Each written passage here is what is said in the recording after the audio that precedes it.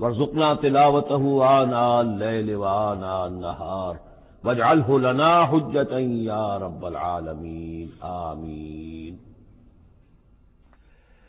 اب ہم اللہ کے نام سے قرآن حکیم میں مکی اور مدنی صورتوں کا جو دوسرا گروپ ہے، اس کی مدنی صورتوں کے جوڑے کا مطالعہ شروع کر رہے ہیں۔ مکیات اس دوسرے گروپ میں دو ہیں۔ صورت الانعام صورت العراف جن کا مطالعہ ہم کر چکے اور میں نے ابتدا ہی مرض کیا تھا کہ یہ گروپ اس اعتبار سے متوازن ہے کہ اس میں دو ہی صورتیں مکی ہیں، دو ہی مدنی ہیں۔ انفال اور توبہ، یہ دو مدنیات ہیں۔ ان کا جو ربط اور تعلق ہے اس گروپ کی مکی صورتوں کے ساتھ، پہلے تو اس کو سمجھ لیجیے۔ ہم دیکھ چکے ہیں سورہ نام اور آراف میں کہ ان میں اتمام حجت ہوا ہے بنو اسماعیل پر یا مشرقین عرب پر۔ اس اتمام حجت کے بعد اللہ کا جو ہمیشہ سے ضابطہ اور قاعدہ رہا ہے، قانون رہا ہے کہ کسی رسول کے بھیجے جانے کے بعد اور اس کی جانب سے اتمام حجت کے کیے جانے کے بعد بھی اگر کوئی قوم کفر پر اڑی رہے، بحثیت مجموعی، تو اس پر عذاب الہی آتا ہے۔ عذاب استحصال اگرچہ یہ عذاب مختلف شکلوں میں آیا۔ کہیں کسی قوم کو ان کے اپنے ہی علاقوں میں سیلاب بھیج کر اور غرق کر دیا گیا، جیسے حضرت نو علیہ السلام۔ کہیں کوئی بہت تیز آندھی بھیجی اور اس کے نتیجے میں جیسے کہ قوم عاد کے اوپر عذاب آیا۔ کہیں زلزلہ آیا۔ کہیں آسمان سے پتھراؤ ہوا، جیسے کہ امورا اور صدوم کی بستیوں پر ہوا۔ کہیں جیسا کہ آپ کو معلوم ہے کہ آل فرعون کو ان کے محلوں سے اور گھروں سے نکال کر لا کر اور سمندر میں غرق کر دیا۔ تو قریش پر جو عذاب آیا ہے اللہ تعالی کا، وہ اپنی نوعیت میں منفرد ہے۔ کیونکہ حضور خود کرشی تھے، بنی اسماعیل میں سے تھے۔ اور آپ نے اتمام حجت کر دیا ان پر، تیرہ برس تک، بارہ برس تک دعوت دے کر۔ تو اب گویا کہ وہ عذاب الہی کے مستحق ہو گئے تھے۔ لیکن یہ عذاب عذاب الہی جو ہے قریش پر جو آیا ہے، وہ بالاقساط آیا ہے۔ اس کی قسط اول ہے کہ جو غزوہ بدر میں ان تک پہنچی۔ انہیں مکے سے نکالا گیا، جیسے کہ آل فرعون کو ان کے محلات سے نکالا گیا اور لا کر سمندر میں غرق کیا گیا۔ وہ مکہ دار الحرم تھا۔ وہ تو جگہ تھی حرم، لہذا وہاں سے انہیں نکالا گیا۔ اور میدان بدر میں پہلی قسط عذاب الہی کی انہیں وصول کرنی پڑی، ان کے ستر سردار کھیت رہے اور موجزانہ طریقے پر کھیت رہے، اس میں کوئی شک نہیں کہ جیسے عذاب الہی پہلے قوموں پر آتے تھے، اسی طرح کا معاملہ یہ ہوا ہے کہ تقریباً نہتے تین سو تیرہ، تین سو تیرہ میں سے صرف آٹھ افراد کے پاس تلواریں تھیں اور ادھر سے ایک ہزار پوری طرح کی کانٹے سے لیس ہو کر آئے تھے۔ تو اللہ کی خصوصی مدد تھی کہ جس سے یہ عذاب آیا ہے اصل میں قریش کے اوپر۔ اور تقریباً تمام بڑے بڑے نامور سردار جو ہے وہی میدان میں کھیل رہے ہیں۔ ستر ان کے قیدی ہو گئے۔ ابھی زخمی کتنے ہوئے ہوں گے انہیں بھی آپ ذہن میں رکھیے۔ تو یہ عذاب کی پہلی قسط تھی جو غزوہ بدر میں آئی ہے۔ اور پھر عذاب کا آخری مرحلہ آیا ہے سن نو ہجری میں، جب مشرقین عرب کو آخری الٹیمیٹم دے دیا گیا کہ اب بس چند مہینے کی تمہیں مہلت دی جا رہی ہے، اس کے اندر اندر یا ایمان لے آؤ اور یا تمہیں تہ تیخ کر دیا جائے گا۔ فیضن صلاح الشر الحرم فخت المشرقین ہے سوجت تو اب یہ انتہائی یوں سمجھیے کہ توہین اور تزلیل کے ساتھ چیلنج تھا۔ یہ دوسری بات ہے کہ وہ سب لوگ ایمان لے آئے۔ اور یہ قتل عام کی نوبت نہیں آئی، لیکن یہ کہ یہ آخری قسط تھی۔ وہ آخری قسط جو ہے سورہ توبہ میں بیان ہوئی ہے۔ اور عذاب کی پہلی قسط جو ہے وہ سورہ انفال میں ہے۔ ان دونوں صورتوں کو جمع کر دیا گیا تاکہ انعام اور آراف میں بنو اسماعیل پر یا مشرقین عرب پر اتمام حجت اور انفال اور توبہ میں ان پر جو عذاب الہی نازل ہوا، اس کی تفصیل۔ تو یہ تو ہے مانوی ربط اس گروپ کی مکی اور مدنی صورتوں کے مابین۔ باقی جو یہ سورہ انفال اس کے بارے میں نوٹ کر لیجیے کہ غزوہ بدر کے فوراً بعد متصل بعد نازل ہوئی ہے۔ گویا کہ سورہ آل عمران جو ہم پڑھ چکے ہیں، اس سے پہلے ہے اس کا، یہ اس کا نزول، اس کے اکثر و بیشتر حصے سے پہلے نازل ہوئی۔ تو یہ زمانی ترتیب جو ہے، اگر یہ ذہن میں نہ رہے تو پھر اس سے کافی خلجان پیدا ہو جاتا ہے۔ اس کا جو پس منظر ہے، وہ یہ غزوہ بدر کا معاملہ سمجھنا بہت ضروری ہے۔ دیکھیے، یہاں تفصیل کا موقع تو ہے نہیں۔ میں نے سیرت النبی علیہ صاحب صلاحت وسلام سے منہج انقلاب نبوی کے جو مختلف سٹیپس ہیں کہ اس میں کن کن مراحل سے ہو کر آپ نے دین کے غلبے کا جو فرض منصبی آپ کے حوالے کیا گیا تھا، اس کی تکمیل فرمائی۔ تو اس میں یوں سمجھیے کہ ایک مرحلہ تھا جو مکے میں طے ہو گیا اور اصل میں چار مرحلے تھے۔ دعوت، تنظیم، تربیت اور صبر محض۔ وہاں ہاتھ اٹھانے کی اجازت نہیں تھی۔ ہم پڑھ آئے ہیں، سورہ نساء میں آ چکا ہے کہ اس وقت حکم تھا، کفو ہے، دیا کو اپنے ہاتھ بندے رکھو۔ تمہارے چاہے ٹکڑے اڑا دیے جائے تمہارے تمہیں زندہ جلا دیا جائے۔ تم کوئی انتقامی کارروائی تو دور کی رہی مدافعانہ کارروائی بھی نہیں کرو گے۔ No raising of hands even in self defence یہ چار مراحل تھے جو چلتے رہے چلتے رہے چلتے رہے۔ کہاں آ کے؟ ایک طرف تو حضور کے پاس جانساروں کی ایک جماعت تیار ہو گئی۔ جو سرد و گرم چشیدہ تھے، ہر طرح کے حالات میں سے گزر چکے تھے، سختیاں جھیل چکے تھے، قربانیاں دے چکے تھے۔ ان کے اخلاص با اللہ میں کسی شک و شبے کی گنجائش نہیں تھی۔ ان کے دل جو ہے خالص ہو چکے تھے اللہ کے لیے۔ اور دوسری طرف یہ کہ اللہ تعالیٰ نے ایک دار الحجرت کا انتظام کر دیا۔ کھڑکی کھول دی مدینے کی طرف۔ ہجرت کا اہتمام ہو گیا۔ تاکہ اہل ایمان کو وہاں سے نکال کر اور مدینے میں لے آیا جائے۔ اب یہاں سے اقدام ہو۔ اسی لیے ہجرت فرض کر دی گئی کہ اب تمام مسلمان یہاں آ جائیں۔ ظاہر بات ہے کہ ہجرت جو وہ فلائٹ نہیں تھی، وہ کوئی فرار نہیں تھا، بھاگ کر جان بچانا نہیں تھا۔ مغربی مورخین تو اسی نام سے اس کو یاد کرتے ہیں۔ وہ تو اصل میں یہ تھا کہ ایک جگہ اگر اس کام کے لیے موضوع نہیں ہے تو کوئی اور بیس آلٹرنیٹ بیس اگر مل جائے تو وہاں سے اپنا آفینسو جو ہے، آخری فیصلہ کن اقدام جو ہے وہاں سے لانچ کیا جائے۔ لہذا مدینہ میں آ کر حضور نے صلی اللہ علیہ وسلم صرف چھ مہینے لیے ہیں انٹرنل کنسالیڈیشن کنسالیڈیشن جب آپ آئے ہیں، نئے نئے آئے ہیں، مہاجرین نئے آئے ہیں۔ تو ایک تو یہ کہ ان چھ مہینے میں آپ نے مسجد نبی تعمیر کر لی، مرکز بن گیا۔ گورنمنٹ ہاؤس بھی ہو گیا یہ، اور پارلیمنٹ ہاؤس بھی ہو گیا دارالندوا بھی ہو گیا، دارالعلوم بھی ہو گیا، خانقاہ بھی ہو گئی، عبادت گاہ بھی ہو گئی برکس ہو گیا۔ سامعین، آپ نے انصار اور مہاجرین کے اندر مواقع کرا دی۔ ایک ایک انصاری، ایک ایک مہاجر بھائی بنا دیا تیسرے یہ کہ آپ نے بہت بڑا کام یہ کیا کہ جو یہود کے قبیلے وہاں آباد تھے، ان کو آپ نے ان کے ساتھ ایک معاہدہ کر لیا جوائنٹ ڈیفنس آف مدینہ وساق مدینہ۔ مدینے کی ایک مدافعت جو ہوگی وہ مشترک ہوگی۔ کوئی بھی حملہ آور آئے گا باہر سے تو مل کر مسلمان اور یہودی اس معاملے میں ایک ملت ہوں گے اور دفاع کریں گے مدینے کا بس چھ مہینے آپ نے اس کام میں لیے، ساتویں مہینے سے پھر آپ نے کچھ چھوٹے چھوٹے دستے بھیجنے شروع کر دیے۔ چھاپا مار دستے سمجھ لیجیے کہ جس سے وہ جو کیروان روٹس تھے، قریش کی لائف لائن یہی تھی، ان کا تجارتی سلسلہ تھا۔ شام کی طرف قافلے جو جاتے تھے، وہ بدر سے ہو کر گزرتے تھے، بدر کے قریب سے، اور بدر جو ہے مدینے سے قریب تر تھا مکے سے فاصلہ زیادہ ہے۔ اور جو قافلے جاتے تھے یمن کو وہ طائف سے ہو کر گزرتے تھے، تو آپ نے ان راستوں کے اوپر چھاپا مار دستے بھیجنے شروع کر دیے۔ جدید اصطلاح میں اس کو یہ کہا جائے گا کہ اکنامک بلاکیج آف مکہ آٹھ ایسی مہمیں غزوہ بدر سے پہلے ثابت ہیں ڈیڑھ سال کے اندر۔ چھ مہینے آپ نے وہ لیے، ڈیڑھ سال اور دو سال کے بعد غزوہ بدر ہو گیا۔ ہے تو یہ ڈیڑھ سال میں آٹھ مہمیں جن میں سے چار میں کہ حضور خود بھی بنف سے نفیس شریک رہے ہیں، اس لیے وہ غزوات کہلاتے ہیں۔ اور چار وہ ہیں کہ جن میں آپ نے صرف کچھ لوگوں کو بھیج دیا ہے، کسی امیر کے تحت وہ سرایا کہلاتے ہیں۔ تو یہ جو صورتحال ہوئی، اور اس میں یہ بھی ہوا کہ حضور جہاں جاتے تھے خود، تو وہاں کے قبائل سے آپ معاہدے کر لیتے تھے۔ اب یا تو وہ لوگ قبائل جو تھے، مقامی، پہلے تو وہ قریش کے حلیف تھے، اب یا تو وہ حضور کے حلیف ہو گئے، مسلمانوں کے حلیف ہو گئے، تو قریش کی طاقت کم ہوئی، مسلمانوں کی بڑھ گئی۔ یا یہ ہے کہ وہ نیوٹرل ہو گئے کہ ہم نہ قریش کی مدد کریں گے، آپ کے خلاف نہ آپ کی مدد کریں گے، قریش کے خلاف نیوٹرل ہو گئے۔ اس سے بھی یہ ہے کہ قریش کا جو حلقہ اثر تھا، سیاسی زون آف پولیٹیکل انفلوئنس وہ کم ہو رہا ہے۔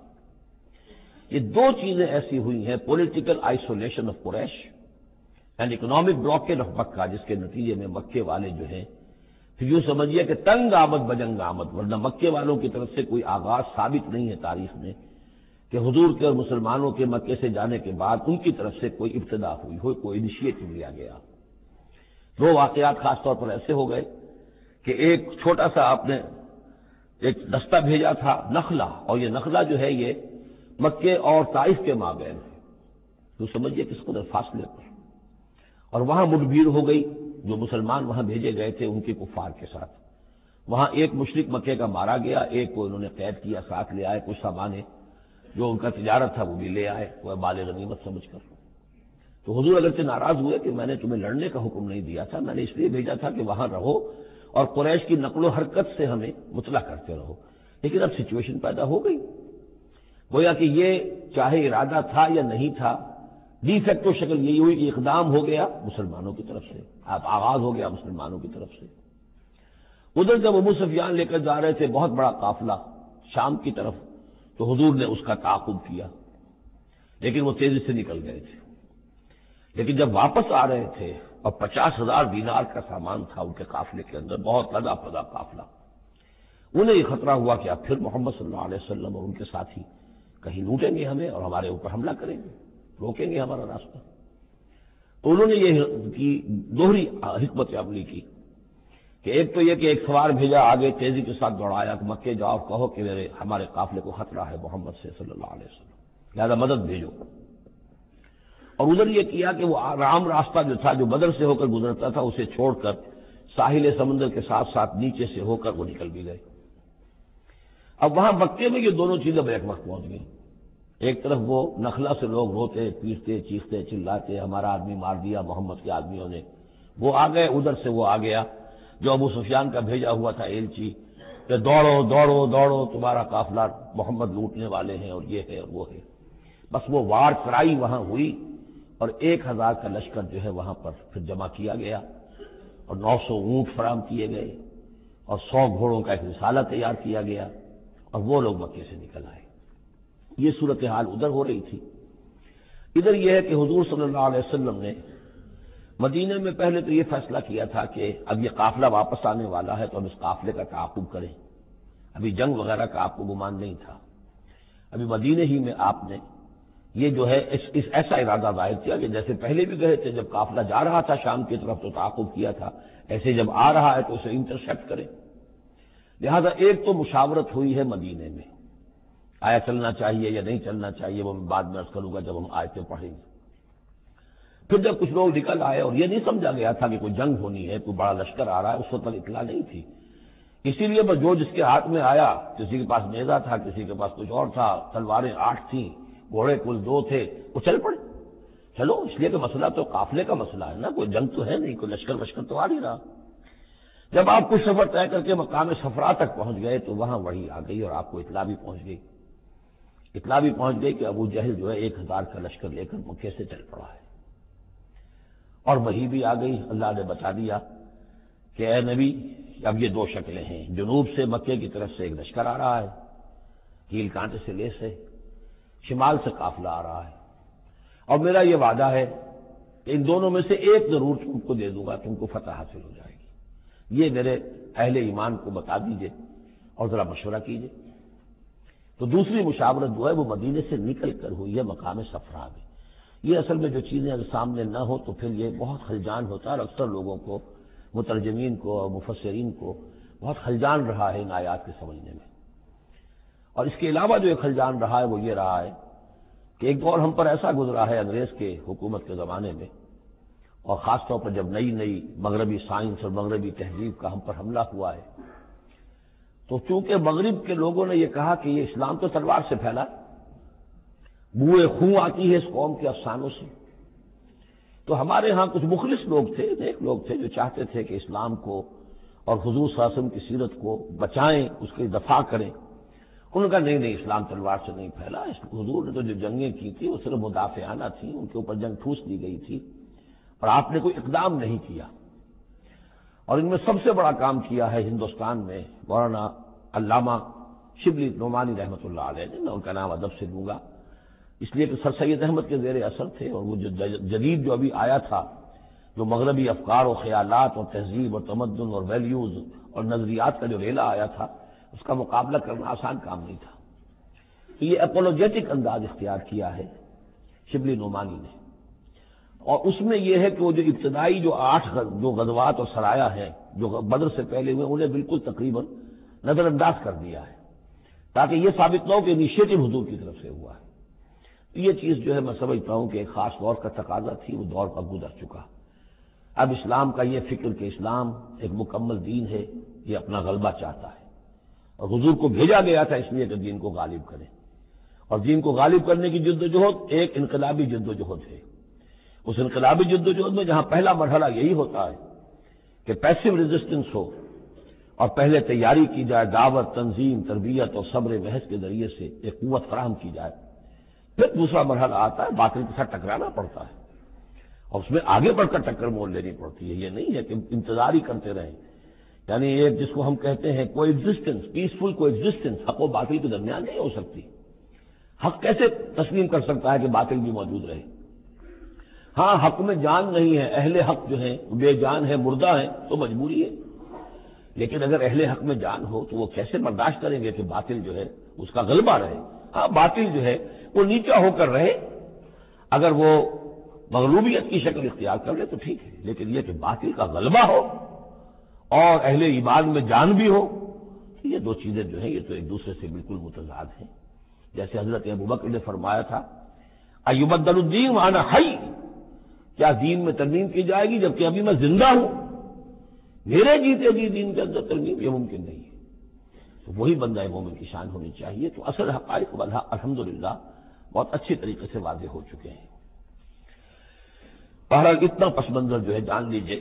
اور ایک خاص اسلوب جو ہے سورہ مبارکہ کا اگر چاہیے تقریباً ایک خطبہ ہے، تقریباً ایک خطبہ ہے، مسلسل، دس رکو ہے لیکن اس میں ایک خاص مسئلے کو نکال کر پہلے درمیان شروع میں لے آئے ہیں۔ اس کی بحث آئے گی تقریباً وسط میں جا کر۔ لیکن اس اسلوب کو یہاں نوٹ کر لیجیے، وہ اس لیے کہ یہی اسلوب ہے جس سے ہمیں سمجھنے میں مدد ملے گی، سورہ توبہ کے جو ترتیب مضامین ہے وہاں بھی بہت اشکال ہے، بہت اشکال ہے۔ اور بہت سے مترجمین کو جدید دور کے جو زیادہ محنت نہیں کر سکے ہیں، مسترجمہ مکمل کرنا انہوں نے اپنے پیش نظر رکھ لیا تصویر مکمل کرنی ہی ہے۔ لہذا وہ تیزی کے ساتھ وہ دقت نظر کا ثبوت نہ دے سکے تو اس میں بڑے خلجان پیدا کر دیے وہ اسلوب کیا ہے کہ اس پوری بحث میں سب سے ایک نمایاں مسئلہ یہ ہو گیا تھا بدر کے بعد کہ مال غنیمت پر مسلمانوں میں جھگڑا ہو گیا۔ پہلی جنگ تھی، غنیمت کی تقسیم کیسے ہوگی، اس کا قانون کیا ہے، اس کا ضابطہ کیا ہے، وہ معلوم نہیں تھا۔ اور یہ کہ عام طور پر جو عرب میں پہلے رواج تھا، وہ تو یہ تھا کہ جس کے ہاتھ جو لگ گیا بس وہ اس کا ہے۔ وہ تو لوٹ مار جانتے تھے، وہ باقاعدہ جنگ جو ہے، وہ تو ان کے یہاں اس طریقے سے منظم، کوئی تنظیم تو تھی نہیں۔ تو جو جس کے ہاتھ لگ گیا۔ اب لوگوں نے یہ سمجھا، غزوہ بدر میں جس جس نے جو کچھ مال غنیمت جمع کیا، وہ اس کا ہے۔ اب کچھ لوگوں نے کہا، صاحب، کہ ہم یہاں حضور کے حفاظت کے لیے معمور تھے یا پہلے پر تھے، ہم تو مال جمع نہیں کر سکے، تو کیا مطلب ہے؟ ہمارا کوئی حصہ نہیں ہوگا۔ یا یہ ہے کہ کچھ بزرگوں نے کہا، تو وہ اتنی بھاگ دوڑ تو نہیں کر سکتے جتنے نوجوان کر سکتے تھے، بھاگ کر دوڑ کر ادھر سے ادھر جمع کر لینا۔ لیکن یہ کہ ان کے ان کی حیثیت ہوتی ہے وہ ہوتی ہے، تو ایک جھگڑا پیدا ہو گیا کہ یہ کس طریقے سے تقسیم ہو، کس کا کتنا حق ہے۔ تو اس جھگڑے کا ذکر کر کے صورت شروع کی ہے۔ لیکن اس کے اوپر کوئی بات یہاں نہیں کی، بلکہ بلکہ کیٹیگوریکل بات کی ہے کہ جڑ کاٹ دی اس کی۔ لیکن اس پر جو اصل حکم ہے وہ بعد میں آئے گا وسط صورت میں۔ مال غنیمت کے لیے یہاں لفظ آیا انفال یس الون کامل انفال اے نبی، یہ آپ سے انفال کے بارے میں پوچھا۔ انفال جمع نفل کی۔ نفل کہتے ہیں کسی اضافی شے کو، جیسے نماز فرض ہے، یہ سنت موقع ہے، یہ فلاں ہے، یہ نفل ہے۔ اضافی ہے، آپ کی مرضی پر ہے پڑھے نہ پڑھے تو جو کہ جنگ میں اصل سے جو مطلوب ہوتی ہے وہ فتح ہوتی ہے۔ مال غنیمت تو ایک اضافی شے، بونس ہے جو مل گیا، ورنہ اصل شے جو ہے وہ مال غنیمت جو ہے پیش نظر جنگ میں نہیں ہوتی۔ لوٹ مار میں اصل شے جو ہے وہ وہ لوٹ مار کا مال ہوتا ہے۔ لیکن جب جنگ ہوتی ہے تو جنگ میں تو اصل چیز جو مقصود ہے وہ فتح ہے۔ تو اس حوالے سے مال غنیمت کو انفال کے لفظ سے تعبیر کیا گیا یس الون انفال اے نبی، یہ آپ سے پوچھ رہے ہیں مال غنیمت کے بارے میں کل الفال اللہ و رسول پہلے تو جڑ کاٹ دی مسئلہ کہہ دیں کہ یہ الفال کل کے کل اللہ اور اس کے رسول کے ہیں، تم میں سے کسی کا کوئی حق ہے ہی نہیں، لاؤ سب جمع کر دو۔ یہ فتح جو ہے تمہارے ہاتھوں نہیں آئی ہے، یہ اللہ کی خصوصی مدد سے آئی ہے۔ لہذا کسی کا کوئی حق نہیں۔ زیرو لیول پر لا کر پھر ان کو سنبھالنا آسان تھا کہ جب معلوم ہو کہ سب کچھ ہاتھ سے دیکھا تو پھر تو ظاہر بات ہے کہ آدمی جو ہے جب ساری جاتی دیکھیے تو آدھی دیجیے بانٹ والی بات ہے، پھر وہ کم کے اوپر بھی راضی ہو گئے۔ لیکن پہلا مسئلہ یہی تھا کل الفال اللہ و رسول و تق اللہ اللہ کا تقوا اختیار کرو۔ وہ اسلح کا بہن کم اور اپنے آپس کے معاملات کو درست کرو۔ وہ عطی اللہ و رسول اور اللہ اس کے رسول کی اطاعت کرو۔ ان کن تم مومنین اگر تم مومن ہو۔ گویا کہ جڑ ہی کاٹ دی کسی کا کوئی حق اس میں ہے ہی نہیں۔ یہ سب اللہ اس کے رسول کے لیے یعنی اسلامی ریاست کے لیے۔ اب یہاں جو آگے آیات آ رہی ہے بڑی اہم ہے بندہ مومن کی شخصیت کا جو حیولہ ہے اور بندہ مومن کی جو تعریف ہے، جامع ترین اور مختصر ترین الفاظ میں یہ آئی ہے سورہ حجرات میں۔ اس کے دو حصے ہیں۔ ایک تو ہے بندہ مسلم، مسلمان کے لیے تو پانچ چیزیں ہیں، کلمہ شہادت، نماز، روزہ، حج زکات لیکن حقیقی مومن کے لیے اس میں دو اضافی چیزیں شامل کرنی پڑیں گی۔ وہ کیا ہیں؟ دلی یقین اور عملی جہاد۔ بندہ مومن کی شخصیت کے اندر یہ دو رخ اور ہونے چاہیے۔ جو صرف مسلمان ہے کلمہ شہادت، نماز، روزہ، حج زکات وہ الاسلام علیہ خمسن شہادت اللہ الہ الا اللہ ورنہ محمد رسول اللہ و اقام الصلاۃ و اعطاء الزکات و صوم رمضان و حج البیت۔ لیکن مومن انم المومنون الذين امنوا بالله ورسوله ثم لم يرتابوا یقین والا ایمان، دل میں ایمان۔ وہ جاہدوا باموالهم وانفسهم في سبيل الله اور جہاد کریں اپنی جان اور مال کے ساتھ اللہ کی راہ میں۔ اب یہاں یوں سمجھیے کہ سورہ حجرات کی اس آیت نمبر پندرہ میں جو ڈیفینیشن آئی ہے، جیسے پرکار ہوتی ہے، پرکار کو کھول دیا۔ ایک حصے کی کیفیات کو یہاں اس سورہ انفال کے شروع میں لے آئے ہیں۔ اور دوسری جہاد والی کیفیات کو سورہ انفال کے آخر میں لے آئے ہیں۔ تو یہ پرکار یہاں کھلی ہوئی ہے اس ڈیفینیشن کی۔ تو ایک حصہ ڈیفینیشن کا یہاں آ رہا ہے۔ ان نمل مومن الزین اعزاز ہو کر اللہ ولیرت کو اہل ایمان، حقیقی مومن تو وہ ہیں کہ جب اللہ کا ذکر کیا جاتا ہے تو ان کے دل لرز جاتے ہیں. بیزا تولیت علیہم آیات اور جب انہیں اس کی آیات پڑھ کر سنائی جاتی ہیں زیادت ہم ایمانہ ان کے ایمان میں بڑھوتری ہوتی ہے، اضافہ ہوتا ہے. والا رب ہی میں توکلون اور وہ اپنے رب پر توکل کرتے ہیں. اللہ دینا یقین صلاح نماز کو قائم رکھتے ہیں. مما رزقنا ہوں انفقون اور جو کچھ ہم نے انہیں دیا ہے، اس میں سے اللہ کے لیے، اللہ کے دین کے لیے خرچ کرتے ہیں۔ انفاق کی سبھی اللہ مراد ہے۔ الاحم المومنون حقا۔ یہ وہ لوگ ہیں جو سچے مومن ہیں، حقیقی مومن ہیں۔ لیکن نوٹ کر لیجیے، یہ بھی ابھی آدھی ڈیفینیشن آئی ہے۔ اس سورہ مبارکہ کے آخر میں آئے گی اور وہاں جا کے پھر یہی الفاظ آئیں گے۔ یہ آیت نمبر چوہتر ہے۔ ولزین آمن و حاجر و جاہدو فی سبیل اللہ ولزین آو و نسر الاحم المومنون حقا لہم مغفرت و رسم کریم۔ اس کے بعد ایک آیت اور بعد میں ہے، سورت ختم ہو جاتی ہے۔ تو لاسٹ بٹ ون آیت اور ادھر پہلی کے بعد دوسری۔ ان دو جگہ پر ایمان کے حقائق کو تقسیم کر کے پرکار کو کھول کر گویا کہ پوری صورت کو ان دو کے درمیان میں لے لیا گیا ہے، گود میں لے لیا گیا ہے۔ ایمان کی ڈیفینیشن کے یہ دو حصے جو ہیں، ان کی گود میں۔ اب یہاں سے شروع ہو رہا ہے رقم بدل کر کما فیل اگر ربوں کا بیت کا بالحق، جیسے کہ نکالا آپ کو، اے نبی، آپ کے رب نے آپ کے گھر سے حق کے ساتھ۔ یعنی آپ کا یہ بدر کی طرف روانہ ہونا جو ہے، یہ اللہ تعالیٰ کی ایک اسکیم کا حصہ تھا۔ اللہ کی اپنی ایک تدبیر ہے۔ وہ ان فریقم من المومن الکار اہل ایمان میں سے کچھ لوگ اسے پسند نہیں کر رہے تھے۔ یہ کون لوگ تھے؟ یہ ہے وہ پہلی مشاورت جو مدینہ ہی میں ہوئی ہے۔ ان میں ظاہر بات ہے مدینہ میں منافق بھی تھے، جن کا خیال یہ تھا لڑنے بھیڑنے کا، لوٹ مار کرنے کا، یہ تو فائدہ ہے بھلا۔ اچھی تبلیغ کرنی چاہیے، اچھی بات کہنی چاہیے، نیک بات کہنی چاہیے۔ یہ کیا طریقہ ہے؟ منافقین کا آرگیومنٹ موجود تھا۔ جو اس کو پسند ہی نہیں کرتے تھے، اس لیے کہ جنگ میں، جنگ کا سلسلہ چل نکلا تو ہمیں بھی جانا پڑے گا۔ ہماری جان اور مال کے اوپر بھی آنچ آئے گی۔ تو لپ دی ایول ان دی بڈ اس سے تو بہتر ہے کہ اس کو یہیں پر ختم کرو اس اعتبار سے ویسے بھی کچھ انسانی فطرت ایسی ہوتی ہے، کچھ نیک سرش لوگ بھی ہوتے ہیں کہ آخر اس سے کیا فائدہ نکلے گا؟ ابھی کو خاص جو ہے قریش کی طرف سے تو اقدام ہوا نہیں تھا۔ ہم آگے بڑھ کر جو ہے، یہ جو بات اقدام کر رہے ہیں تو آخر اس کا فائدہ کیا ہے؟ کیونکہ اس قسم کی باتیں اس وقت نہیں گئیں۔ ان فریق من المومن الکار اب یہ مومنین ان میں سے اہل نفاق بھی ہو سکتے ہیں اور سادہ لوگ اور نیک دل جو مسلمان ہیں وہ بھی ہو سکتے ہیں۔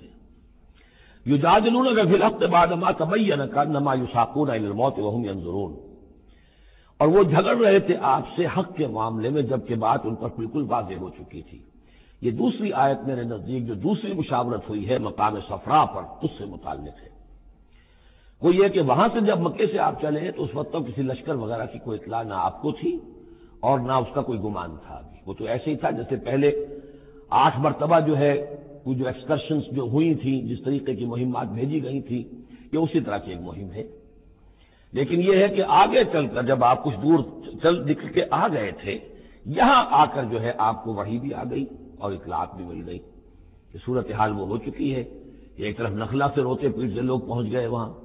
دوسری طرف یہ کہ ادھر سے ابو سفیان کا جو ہے ایلچی پہنچ گیا، چیختا چلاتا ہوا اور ایک ہزار کا لشکر لے کر ابو جہل نکل پڑا ہے بدر کی طرف۔ اب وہ بدر کی طرف آ رہا ہے۔ ادھر سے قافلہ بدر کی طرف آ رہا ہے شمال سے۔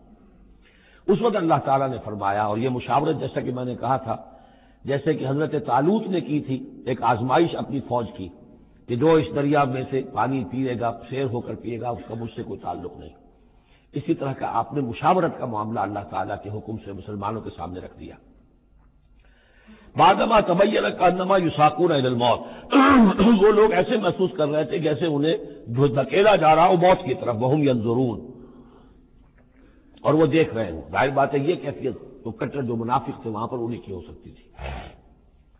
وائز کم اللہ احدت فتح اللہ لکم اور جبکہ اللہ تعالیٰ وعدہ کر رہا تھا تم سے کہ ان دونوں گروہوں میں سے ایک تمہیں مل جائے گا۔ ایک پر تمہاری فتح گارنٹی ہے۔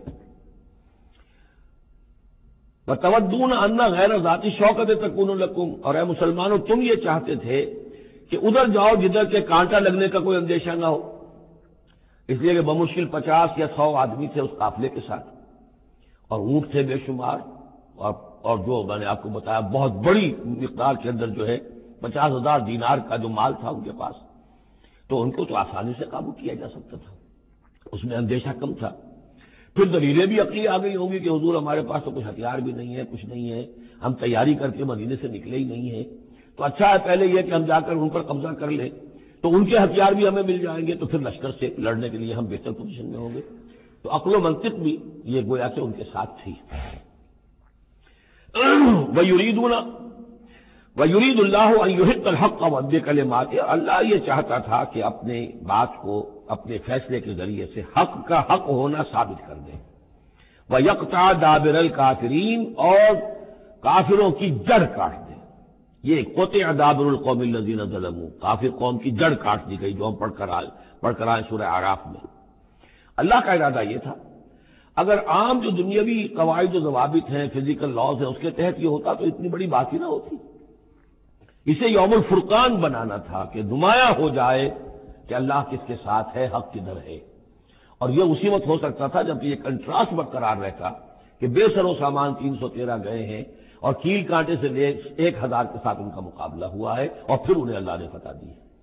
لہٰذا اللہ کی مرضی کچھ اور تھی۔ یرید اللہ الحق کا بھی کل ماتے ہیں وہ الکافرین۔ اللہ چاہتا تھا کہ اپنی باتوں کے ذریعے سے حق کا حق ہونا ثابت کر دے اور کافروں کی جڑ کاٹ دے۔ یہ یوہت الحق کا تاکہ سچا ثابت کر دے حق کو سچ کو ویب تل الباطلا اور باطل ثابت کر دے باطل کو۔ باطل ہونا اس کا ثابت ہو جائے۔ ولا کرے حل مجرمون خواہ یہ مجرموں کو کتنا ہی ناگوار ہو۔ اس تستغیث نہ ربکم یاد کرو جبکہ تم اپنے رب سے استغاثہ کر رہے تھے، دہائی دے رہے تھے کہ اللہ ہماری مدد فرما۔ فستجاب الکم تو اللہ نے تمہاری دعا کو قبول کیا تھا۔ انی ممد کم الفی من الملائکت مردفین کہ میں تمہاری مدد کروں گا ایک ہزار ملائکہ سے جو لگاتار آئیں گے، پے بپے آئیں گے۔ ایک ہزار کا لشکر آیا ہے نا، تو ایک ہزار فرشتے ہم تمہاری مدد کے لیے بھیج دیں گے۔ وہ ما جعلہ اللہ اللہ بشرا اور اللہ نے اس کو نہیں بنایا، مگر تمہارے لیے بشارت۔ والے تطمئن بھی قلوب کو اور تاکہ تمہارے دل مطمئن ہو جائیں۔ تو من نسر اللہ من عند اللہ اور مدد تو اللہ کی طرف سے ہوتی ہے، فرشتوں کو بھیجے بغیر بھی وہ مدد کر سکتا ہے۔ کل فیقول کی شان کے ساتھ وہ جو چاہے کر دے۔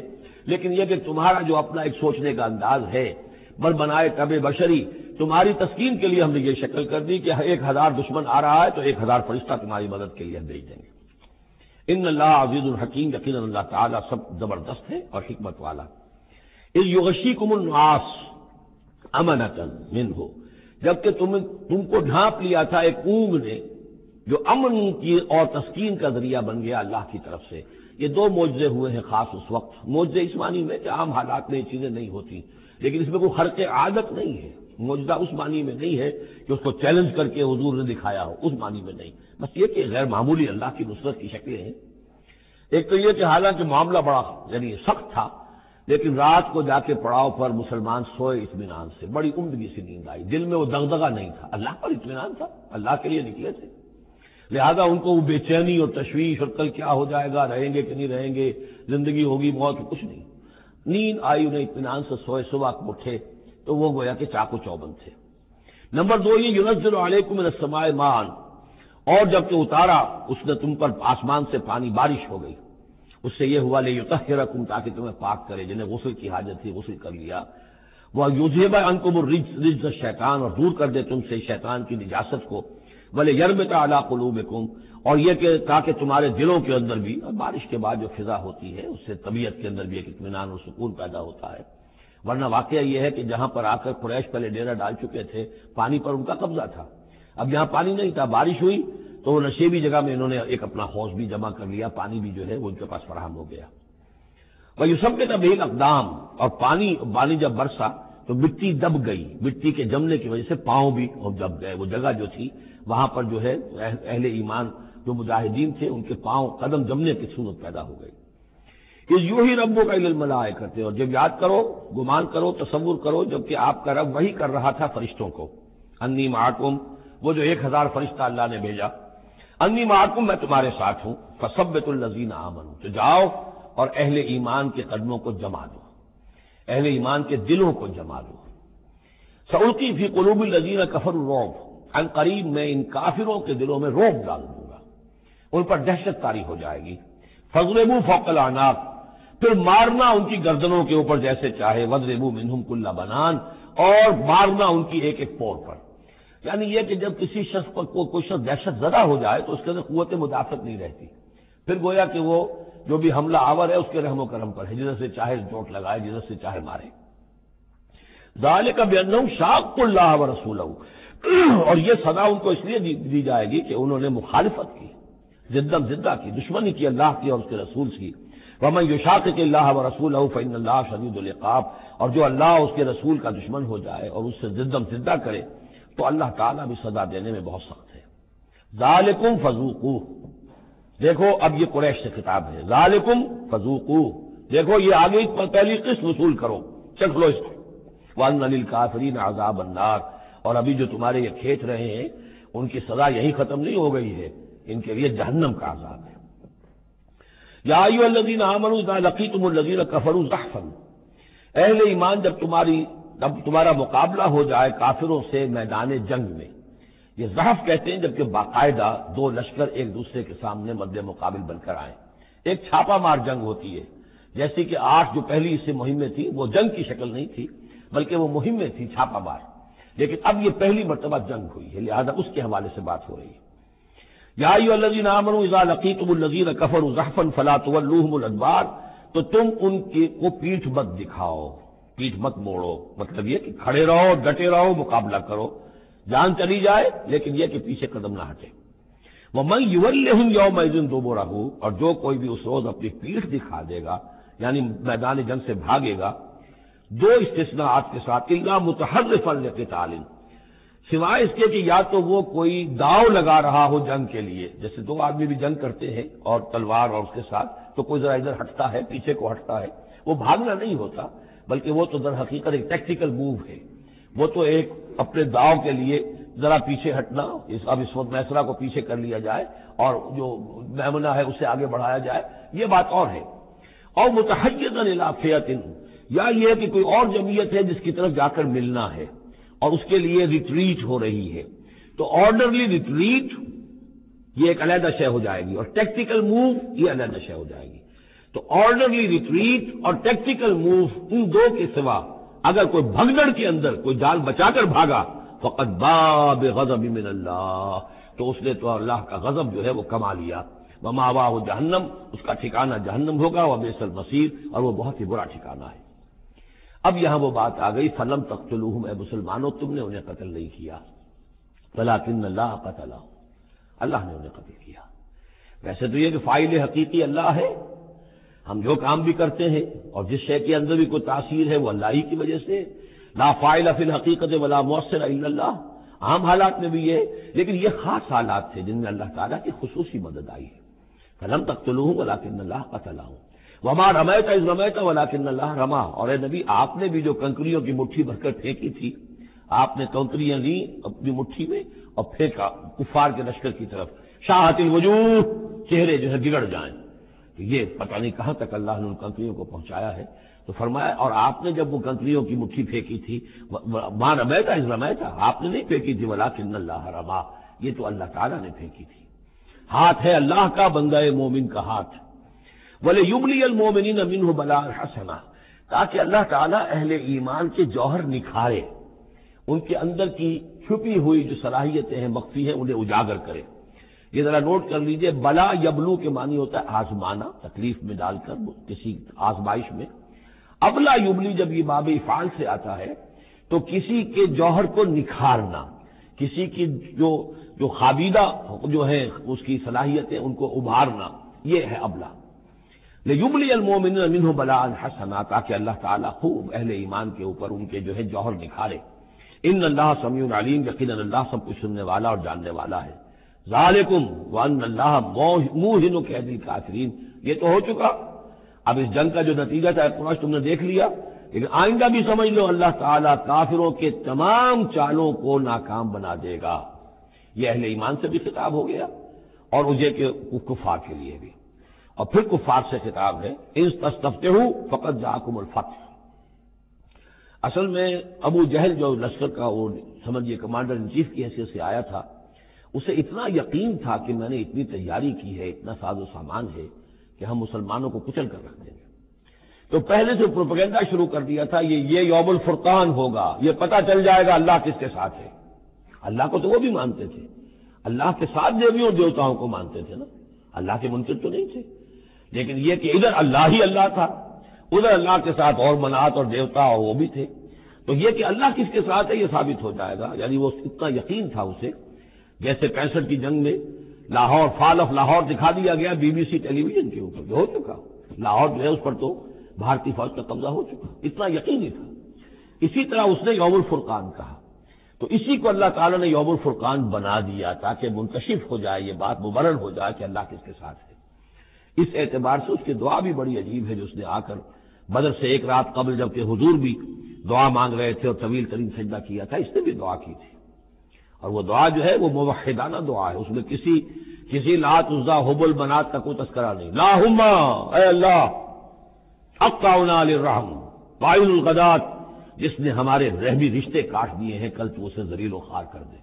یعنی اس کا جو سب سے بڑا چارج تھا، الزام تھا حضور پر وہ یہ تھا کہ اس شخص نے آ کر ہمارے ہمارے خاندانوں میں تفریح پیدا کر دی۔ بھائی کو بھائی سے نظا کر دیا۔ ایک بھائی مسلمان ہو گیا، وہ علیحدہ ہو گیا، باقی بھائی کافر ہیں۔ ایک دوسرے کے دشمن ہو گئے۔ ماں باپ سے اولاد کو جدا کر دیا۔ شوہر کو بیوی سے کاٹ دیا، بیوی کو شوہر سے کاٹ دیا۔ ہماری طاقت تھی، ہمارا قبیلہ تھا، ہم قریش تھے۔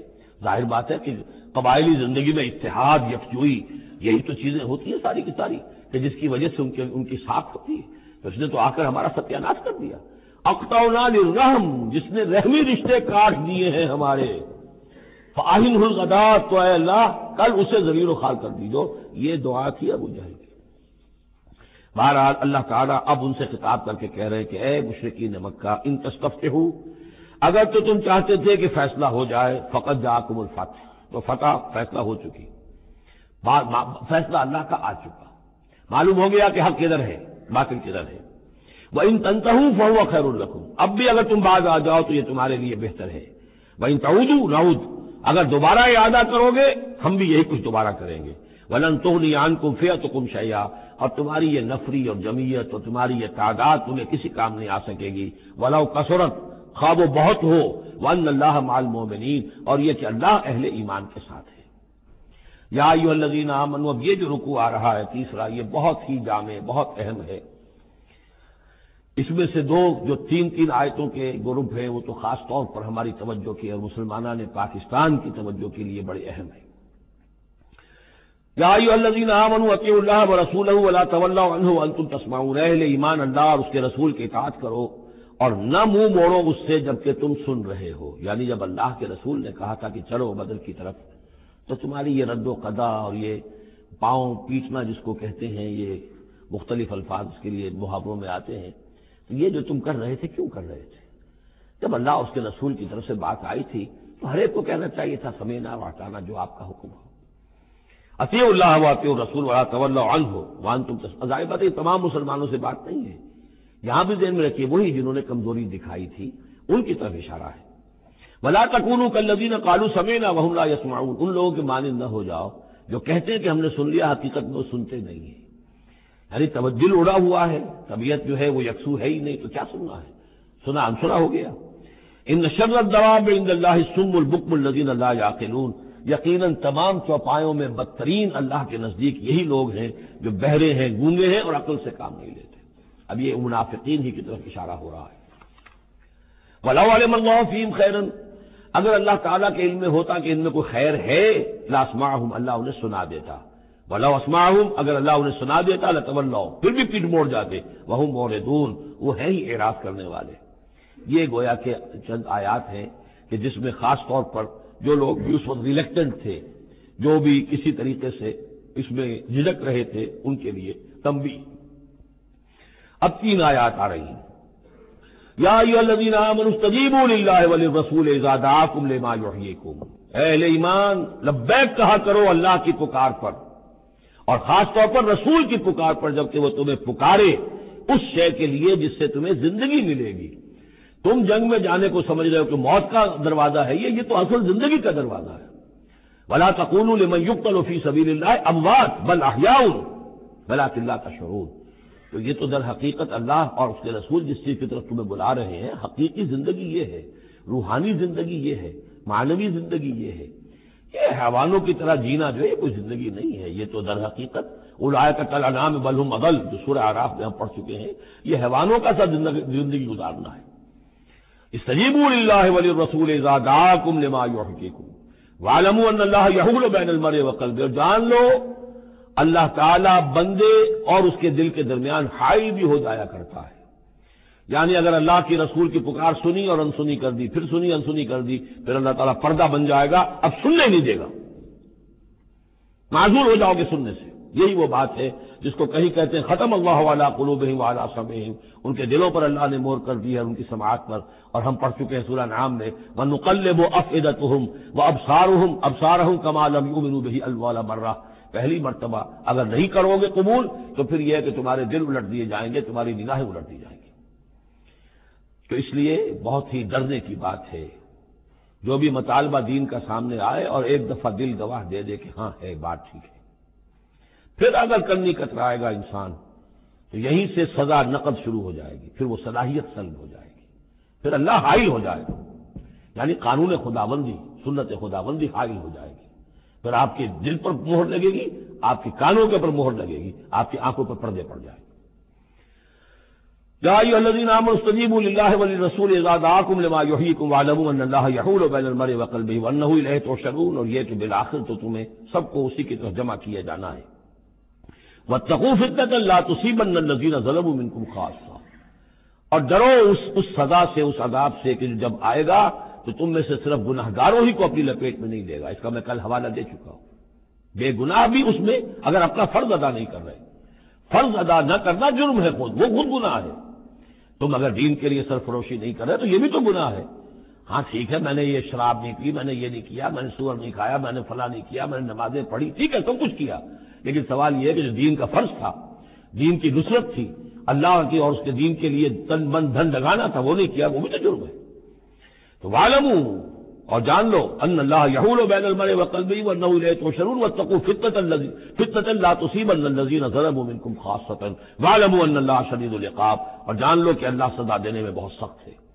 بس کرو یہ ہے خاص پاکستانی مسلمانوں کے لیے اور یاد کرو عزت تم قلیل جب تم تھوڑی تعداد میں تھے، جیسے ہم بھی اقلیت کی، کا خوف تھا ہمیں کہ ہم ہندوؤں کے مقابلے میں اقلیت ہیں. مستدعفون فی الارض، جنہیں زمین میں دبا لیا گیا تھا.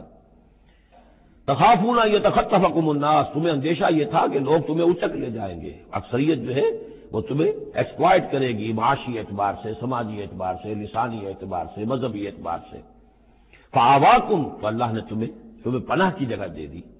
وہ ایدا کم بے ہی اور تمہاری مدد کی ہے، خاص تائید کی ہے اپنی خاص نصرت سے۔ ورضا کا کم منت یہ بات اور تمہیں بہترین، پاکیزہ رزق عطا کیا ہے۔ لال لکم تشکرون تاکہ تم شکر کرو۔ یا الذین لا تخونوا اللہ والرسول. اے ایمان، مت خیانت کرو اللہ سے اور اس کے رسول سے. ایمان کا دم بھرنا اور پھر ان کے، اس کے دین کو، اللہ کے دین کو مغلوب دیکھ کر بھی اپنے دھندے، اپنے کاروبار، اپنی جائیداد، اپنی ملازمت، اپنا پروفیشن اسی چکر میں لگے رہنا، اس سے بڑی خیانت کیا ہوگی؟ بے وفائی ہے، غداری ہے، خیانت ہے لا تخون اللہ و رسول اللہ اور اس کے رسول کے ساتھ خیانت نہ کرو۔ وہ تخون امانات کم اور نہ ہی اپنی آپس کی امانتوں میں خیانت کرو۔ سب سے بڑی خیانت تو اللہ کے ساتھ خیانت ہے۔ سب سے بڑی وہ امانت جو اللہ نے اپنی روح تم میں پھونکی ہے، اس کا حق اگر تم ادا نہیں کر رہے ہو تو سب سے بڑی خیانت یہ ہے۔ جس کو کہ فرمایا گیا ہے سورہ آزاب میں، ہم نے آسمانوں پر، زمین پر، پہاڑوں پر پیش کی عالد الامانت عالت سماوات والجبال فابینا یحمل نہا واشفق زمینہ وہ ہم انسان تو بہت بڑی بڑی امانتیں تمہارے پاس ہیں دین کی امانت ہے، قرآن کی امانت ہے، شریعت کی امانت ہے۔ یہ سب امانتیں محمد الرسول اللہ کی۔ وان اللہ اجر عظیم اور یقین اللہ ہی کے پاس ہے بہت بڑا اجر۔ یا الذین آمنوا اللہ یجعل لکم فرقانا۔ وعلموا انما اموالکم واولادکم فتنہ اور جان لو، تمہاری اولاد اور تمہارے اموال تمہارے لیے فتنہ ہے۔ یہی روکتے ہیں۔ یہی دو بیڑیاں ہیں جو پاؤں میں پڑی رہتی ہیں، مال اور اولاد۔ اولاد کو اعلیٰ سے اعلیٰ تعلیم دلانی ہے، اس کے لیے بڑی بڑی فیسیں دینی پڑتی ہیں۔ اس کے لیے ظاہر بات ہے کہ اپنا ایک ایک قطرہ جو ہے پسینے کا اور خون کا لگائیں گے تو کہیں جا کر وہ ساری چیزیں فراہم ہوگی۔ آدمی کھپ گیا اسی کے اندر، اولاد کے لیے یا مال کے لیے؟ پھر کہاں سے وقت لائیں دین کے لیے اور دین کے لیے نصرت کے لیے؟ کہاں کوئی رمک جسم کے اندر باقی رہ جاتی ہے؟ جان لو کہ تمہارے امبال اور تمہاری اولاد تمہارے لیے فتنا ہے۔ فتنا کہتے ہیں جس پر کسی کو پرکھا جائے، کسوٹی جس کے اوپر پرکھا جا رہا وہ ان اللہ اجر عظیم اور یقین اللہ ہی کے پاس ہے بڑا اجر۔ یا ان تک اللہ یجعل فرقانا۔ اہل ایمان، اگر تم اللہ کے تقوی پر برقرار رہو گے، تمہارے لیے تمہارے لیے فرقان، ایک کے بعد دوسری فرقان آتی رہے گی۔ پہلا فرقان تو یہ آ گیا، یہ فتح جو تمہیں دی گئی۔ وہ یو کفر انکم سے یہ آتے کم اور یہ کہ تمہارے سے تمہاری جو کمزوریاں ہیں، برائیاں ہیں، وہ اللہ تعالیٰ دور کر دے گا۔ وہ یکفر لکم اور بخش دے گا۔ وہ اللہ حضول فضل العظیم، اللہ بڑے فضل والا ہے۔ وہ اس یم کو بکل نظیر کفر اب یہ ہجرت سے پہلے جو صورت حال تھی مکے میں کہ قریش کے سردار بیٹھتے تھے دارالنوا میں، کیا کریں اب ہم؟ محمد صلی اللہ علیہ وسلم کو قتل کر دیں، سازشیں ہوتی تھیں۔ اور اسی طریقے سے انہیں قید کر دیں، کہیں یہاں سے نکلنے پہ مجبور کر دیں۔ تو وہ جو سازشیں ان کی ہوتی تھیں اور مشورے ہوتے تھے، ان کا ذکر ہے۔ وہ اس یم کو بکل نظیر کفر اور جب یاد کیجیے جبکہ وہ لوگ جو کافر ہوئے، یہ کافر لوگ آپ کے بارے میں مشورے کرتے تھے، چالیں چلتے تھے اسکیمیں بناتے تھے، سازشیں کرتے تھے۔ لے یوس کا نمبر ایک تو یہ کہ آپ کو کہیں قید کر دیں، اور یکلو کا یا قتل کر دیں، اور یخرجو کا یا آپ کو اپنی بستی سے کہیں نکال دیں۔ وہ یم قرون و یم قر اللہ وہ بھی چالیں چل رہے تھے، ان کی بھی اسکیمز تھیں اور اللہ کی اپنی اسکیم تھی۔ اللہ خیر الماکرین، اور ظاہر بات ہے کہ اللہ تعالیٰ بہترین ہے پلاننگ کرنے والا، اور بہترین ہے تدبیر فرمانے والا۔ ویزا تطلا علیہ آیاتنا کالو قد سمعنا، لو لو نشا نقلنا مثل هذا۔ اور جب انہیں ہماری آیات پڑھ کے سنائی جاتی ہے تو وہ کہتے ہیں، ٹھیک ہے، بہت سن لی ہم نے یہ آیات بہت محمد آپ نے سنا لیا۔ کوئی ایسی بات بھی نہیں ہے، ہم چاہیں گے تو ایسا ہی کلام ہم بھی کہہ لیں گے۔ ضرورت نہیں کی کسی نے کہ آئے کہ یہ کلام میں نے موضوع کیا ہے اور یہ قرآن کے برابر ہے، تو کوئی کمیشن بٹھا لیجیے، کوئی سازش بنا لیجیے کہ تو طے کریں، یہ ضرورت نہیں ہوئی۔ لیکن یہ کہہ دینے میں تو کوئی بات نہیں تھی، زبان کون پکڑے گا؟ لو نشاؤ لقلنا مسلح اگر ہم چاہیں گے تو ہم بھی ایسے کہہ دیں گے، کوئی ایسی بڑی بات نہیں ہے۔ یہ نظر بن حارث تھا کہ جس کی طرف یہ الفاظ منقول ہے تاریخ اور سیرت میں۔ ان ہدا اللہ ساطر الاولین، یہ نہیں ہے یہ، مگر یہ کہ پچھلوں کی کہانیاں ہیں، قصے ہیں۔ جیسے آج بھی مستشرقین کہتے ہیں کہ کچھ تورات سے، کچھ انجیل سے محمد نے لے لیا، جوڑ جاڑ کر اور یہ قرآن بنایا ہے۔ اب تو خیر وہ دور ذرا بدل گیا ہے، یہ ذرا پچھلی صدی کی بات تھی، اس دور میں لوگ اس قسم کی باتیں زیادہ کرتے تھے۔ وہ اسقار اللہ ان کا نہادا ہوا الحق۔ اور وہی بات جو میں نے آپ کو بتائی تھی کل بھی، کہ قریش کے لیے سب سے بڑا مسئلہ اپنے عوام کو سنبھالنے کا ہو گیا تھا۔ کیسے روکے ان کو کہ یہ محمد صلی اللہ علیہ وسلم کا ایمان نہ لائے؟ اس کے لیے جو اور تدبیریں وہ کرتے تھے، اسی کی طرح کی ایک تدبیر کا ذکر آ رہا ہے۔ مجمع عام میں کھڑے ہو کر دعائیں مانگ رہے ہیں۔ اے اللہ، اگر یہ جو کچھ محمد کہہ رہے ہیں، اگر یہ حق ہے اور تیرے پاس سے آیا ہے یہ قرآن فامتر علینا ہجارت من السماء۔ واسقال اللہم ان کا نہذا ہوا الحق من اندے کا اگر یہ ہے حق تیری طرف سے فامتر علینا ہجارت من السماء۔ تو برسا دے ہم پر پتھر آسمان سے۔ اب اتنا بے عذاب غریب یا پھر بھیج دے ہم پر کوئی عذاب۔ اب عذاب آیا نہیں۔ دیکھ لو، اس کا مطلب یہ کہ یہ محمد جھوٹے ہیں صلی اللہ علیہ وسلم۔ ہم نے تو کہہ دیا، اللہ کو پکار کر کہہ دیا ہو سکتا ہے کبھی کعبے کے پردے پکڑ پکڑ کر کہا ہو اسی طریقے سے، تاکہ پورا یقین ہو جائے کسی درجے میں بھی ہمارے عوام کے اندر کوئی کوئی وسوسہ، کوئی دغدغہ باقی نہ رہے۔ وبا کان اللہ علیہ اور اللہ تعالیٰ انہیں عذاب نہیں دے سکتا تھا۔ اللہ کے لیے ممکن نہیں تھا کہ ان پر عذاب بھیجتا ون تفیم جبکہ ابھی اے محمد آپ ان کے مابین موجود تھے۔ ہجرت سے پہلے معاملہ نہیں ہوا کرتا یہ۔ اللہ اپنے رسول کو، ان کے ساتھی اہل ایمان کو نکال لیتا ہے، اس کے بعد کوئی عذاب اس نوعیت کا آتا ہے، جس نوعیت کا وہ عذاب مانگ رہے تھے۔ وان تفیم وہ ماں کان اللہ معذب اللہ ان کو عذاب دینے والا نہیں تھا وہ یستغفرون، جبکہ وہ استغفار بھی کر رہے تھے۔ یعنی اسی مکے میں عوام الناس بھی تو تھے، سادے سادہ نو لوگ بھی تو تھے، وہ استغفار بھی کرتے تھے، تلبیہ بھی پڑھتے تھے، لبیک اللہ لبیک لبیک اللہ لبیک، یہ تو کرتے تھے، اللہ کو بھی پکارتے تھے۔ تو بڑا گڑبڑ سا معاملہ تھا۔ جب تک کہ اللہ تعالیٰ یمید الخبیث اپنے طیب کر نہ دے، اس وقت تک اس طرح کا معاملہ اللہ تعالیٰ کے لیے درست نہیں تھا۔ وہ مالحم اللہ باقی وہ عذاب کے پورے طور سے مستحق تو ہو چکے ہیں۔ اور کیا ہے؟ وہ کون سی رکاوٹ ہے ان کے لیے. نالحم اللہ اللہ کہ اللہ تعالیٰ ان کو عذاب نہ دے. وہ ہم یہ سدون عن المسجد الحرام. جبکہ وہ روک رہے ہیں مسجد حرام سے لوگوں کو. وما کانو اولیاء اور حقیقت میں یہ اس کے متولی نہیں ہے یہ اس کے مختار نہیں ہے یہ اس کے ساتھی نہیں ہے ان اولیاء ہو المتقون. اس اللہ کے گھر کے تو ولی اور اس کے جو اصل مجاور کہہ لیجیے. یا متولی کہہ لیجیے وہ تو ہوں گے متقی لوگ جو اللہ کا تقوی رکھتے ہو اللہ کی بندگی کرتے ہو ولاکن اکثر لا يعلمون لیکن ان کی اکثریت علم نہیں رکھتی۔ وہ ماں کا نہ سلاد ہو اندر بیٹھے اور انہوں نے جو نماز کا حلیہ بگاڑا ہے، نہیں ہے ان کی نماز بیت اللہ کے پاس اللہ مقام و تصدیہ سیٹیاں بجاتے ہیں، تالیاں پیٹتے ہیں، یہ ان کی نماز رہ گئی۔ طواف کرتے تھے تو اس میں سب سے اونچا طواف تھا برہنا طواف۔ اور نماز جو تھی، ان کی وہ یہ تھی، سیٹیاں بجاتے ہوئے۔ جیسے کہ آپ کو معلوم ہے کہ بعض علاقوں میں مسجدوں کے اندر جو جب وہ میلاد کی محفلیں ہوتی ہیں تو اس کے اندر ڈھول اور ڈھمک کا یہ میں نے سنا ہے کہ خاص طور پر افریقہ کے بعض ممالک میں کام ہوتا ہے۔ یہ اللہ کا شکر ہے اس حد تک کم سے کم یہ کہ بر عظیم پاک و ہند کے اندر جو بھی صورت ہوئی ہے وہ یہ مسجد کے اندر یہ خرافات نہیں ہوئی ہے، باقی باہر ہو رہی ہے، جو بھی ہو رہی ہے۔ تو انہوں نے نماز کی بھی شکل یہ بنا دی تھی۔ فضوق العذاب ابھی ماں کن تم تک فرون تو اب چکھو مزہ عذاب کا اپنے کفر کی پاداش میں۔ ان نبی کفرو یونفقون والم یسد ان سبیل اللہ ظاہر بات ہے، یہ لشکر آیا تھا، تو اس کے لیے بھی تو ناؤ لشکر تیار کرنا پڑا تھا نا۔ ساز و سامان، نو سو اونٹ۔ ایک ہزار آدمیوں کے لیے راشن بھی چاہیے تھا۔ مکے سے چل کے مدینے تک آنا ہے، جنگ میں رہنا ہے۔ تو یہ دس اونٹ روزانہ جو ہے ذبح ہو رہے تھے اس فوج کے لیے۔ تو یہ سارا جو انفاق کیا ہے، کچھ لوگوں نے کیا ہے نا۔ جو باطل کے لیے انفاق کر رہے تھے، شیطان کے لیے۔ وہ حزب الشیطان جو ہے، آخر وہ بھی تو مجاہد تھے۔ وہ مجاہد تھے فی سبیلی شیطان فی سبیلی شرک تو جو جو خرچ کر رہے ہیں اپنے مال لے یا سدوان سبیر اللہ تاکہ لوگوں کو روک سکے اللہ کے راستے سے فصل یونفقون وہ اور بھی خرچ کریں گے ابھی۔ ابھی انہیں اور بڑے لشکر تیار کرنے پڑیں گے۔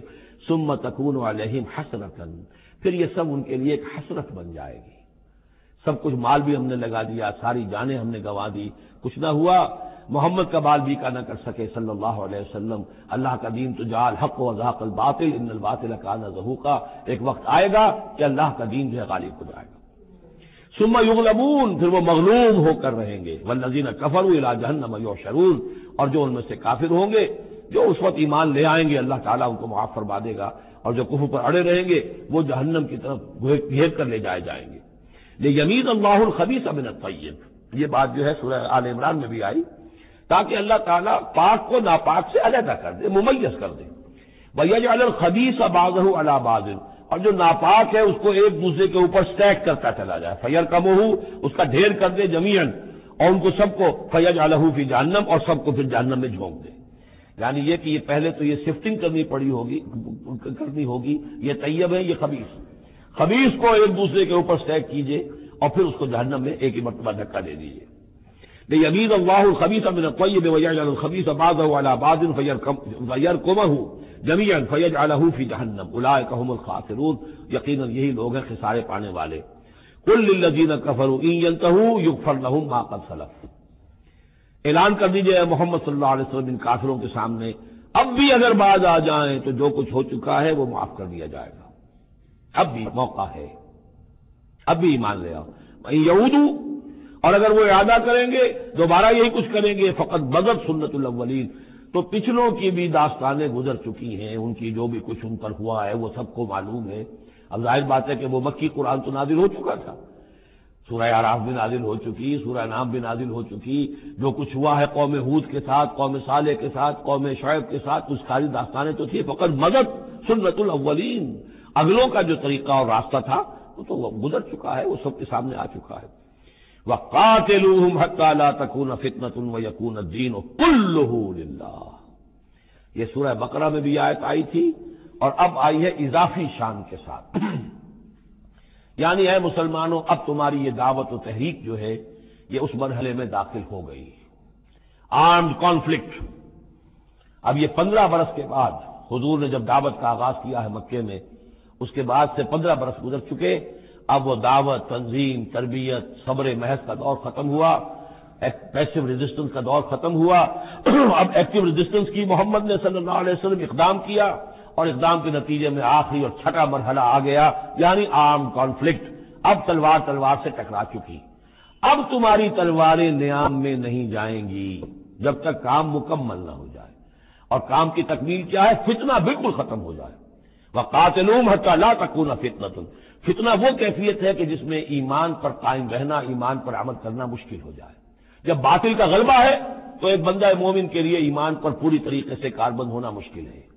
لہذا اس صورت حال کو ختم کرو یعنی اب دین کا غلبہ ہو جائے۔ حتیٰ لا تکون فتنا و یقون دین و کل اللہ دین بھی جزوی نہیں، کل کا کل دین۔ اللہ ہی کتابیں آ جائے۔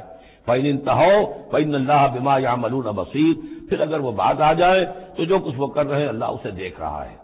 وہیں طلو اور اگر پیش موڑ لیں والم تو اے مسلمانوں، تم یہ جان لو ان اللہ مولا کم اللہ تمہارا مولا ہے، تمہارا ولی ہے، ساتھی ہے، مددگار ہے کچھ پناہ ہے۔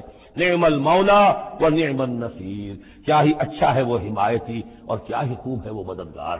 بارک اللہ علی و فی القرآن الرحیم و نفانی ویاکم بالآیات مسجد الحکیم۔